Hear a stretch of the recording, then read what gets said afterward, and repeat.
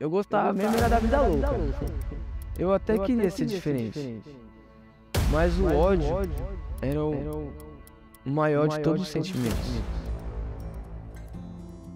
Hoje, na minha vida, o que eu mais almejo, sinceramente de todo o coração, é alcançar mais pessoas para Jesus. Meu nome é Victor Demarco Húngaro e eu tenho 28 anos. Na minha família ela é dividida, né? Entre a Umbanda, Candomblé e o católico.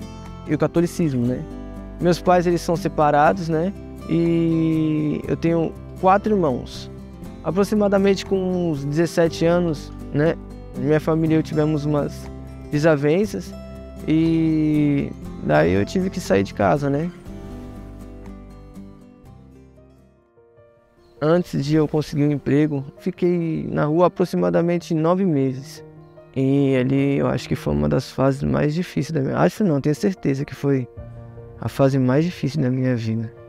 Que foi onde eu comecei a usar droga, a beber muito. Você só sente agonia e medo. Mais nada. E fome.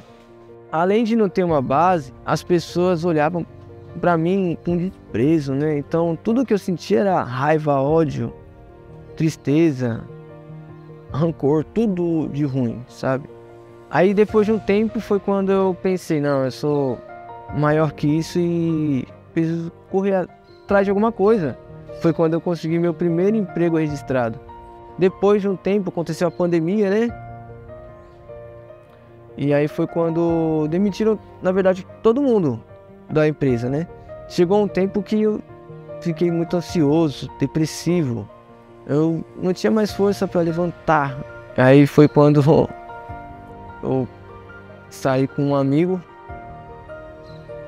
A gente foi para uma festa da família dele e a mãe dele falou para mim que Deus tinha uma obra grande para fazer na minha vida. E aí o tio dele também falou a mesma coisa.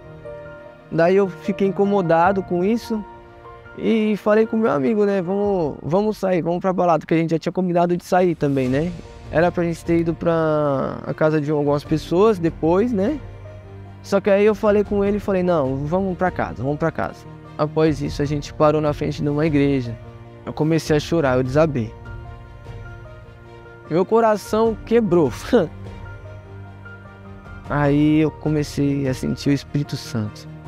E aí eu fui andando chorando, orando demais, pedindo para Deus.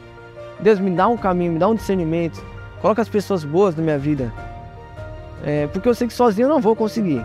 Eu tava voltando e aí tem uma comunidade chama Labirinto, né? Eu conheci a Ruth e o Vandão, o Edivandro. Eu falo que eles são os anjos da, da minha vida. Quando nós encontramos o Victor lá na Viela do Labirinto, ele tava com uma aparência de triste, tava, ele tava até chorando, inclusive eles estavam oferecendo cursos, né, gratuitos. Era de, aula de inglês, é, aula de violão, né? E me entregaram um panfleto. E aí eu vi que tinha um estudo bíblico, um estudo da Bíblia, algo assim. E aí eu falei, não, é isso aqui que eu quero fazer. nós realizamos cursos, nós realizamos ações sociais e o principal, evangelizamos através de estudos bíblicos. O que me chamou muita atenção foi a simplicidade e o amor deles. A gente vai te visitar Prazer lá, viu? Vamos lá semana que vem, tá? Falou. Na terça, hein? Eu me senti abraçado. Senti que era minha família. O Edvandro e a Rutieri, né? Eles me dão aula estudo da Bíblia, né? Eles que. E são uma das melhores pessoas que eu já conheci na minha vida. Nunca gostei de estudar. Eu pegava a Bíblia, eu me sentia cansado, exausto, chato. Nossa. E agora eu amo estudar a Bíblia. O Victor sempre foi muito participativo nos estudos. Ele sempre estava interessado, ele queria cada vez mais aprender. Depois que eu conheci os Oins, eu senti tão feliz, eu me senti tão em paz. O OIM é um projeto do Ministério Jovem, significa um ano em missão. Nós dedicamos a nossa vida, tiramos um ano como voluntários para atender às necessidades de onde nós estamos ali inseridos. Além de eu querer andar com eles, de serem meus novos amigos do coração, assim, que eu amo demais, eu queria que as pessoas também sentissem aquilo que eu estava sentindo. Esse foi um ponto-chave de eu me juntar com eles e me inscrever pro Caleb. Agora nós iremos ter a semana de oração jovem, que será a primeira do Victor. E, e nós estamos muito felizes que ele está muito empolgado em querer participar. Estranho que na minha vida eu sempre me senti perdido. Que nenhum lugar era o meu lugar. Mas quando eu cheguei aqui, na igreja com eles, eu senti que ali era o meu lugar. E aí tudo começou a melhorar. Tudo, tudo, tudo, tudo, tudo, tudo. A relação com a minha família era péssima. Hoje eu consigo conversar com meu pai. É... Parei com vícios. É, eu tinha muita ansiedade, isso acabou. Consegui um emprego maravilhoso que eu nunca esperava na minha vida ter conseguido. Eu quero ser conhecido como um homem de Deus. Não pelo que eu fiz, mas por andar no caminho de Deus.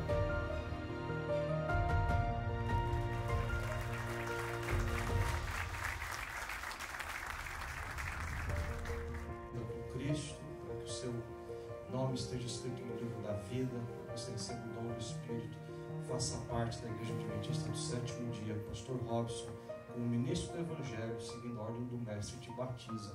Em nome do Pai, do Filho e do Espírito Santo. Amém. Amém.